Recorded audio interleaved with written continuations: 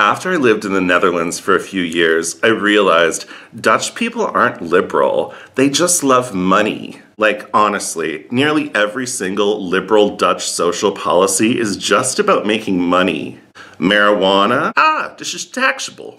Prostitution? Ah, this is taxable. Euthanasia? Ah, can they still make money? No, let them die.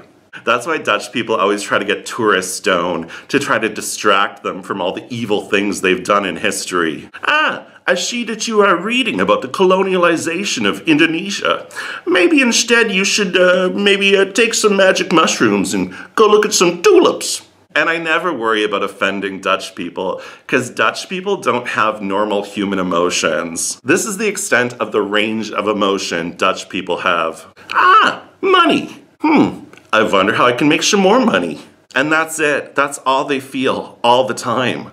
Like, have you ever seen a Dutch child cry? They don't cry. They cry for the first time when they're like seven. Like, imagine little Gertijn experiencing tears for the first time. Papa, Papa, there is water coming out of my eyes. There is a pain in my chest. What is this? Ah, yes, uh. This is called sadness. It is a natural human emotion. Oh, oh, can I make money out of it? No? Well, then I'll never experience it again.